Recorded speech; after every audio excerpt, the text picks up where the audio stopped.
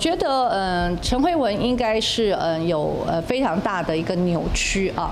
那么事实上那一天呢，呃，我们下节目之后非常短暂的啊。事实上那个，呃，我们有特别提到我们的助理费的使用啊。事实上我们都是是从来没有让助理来出钱。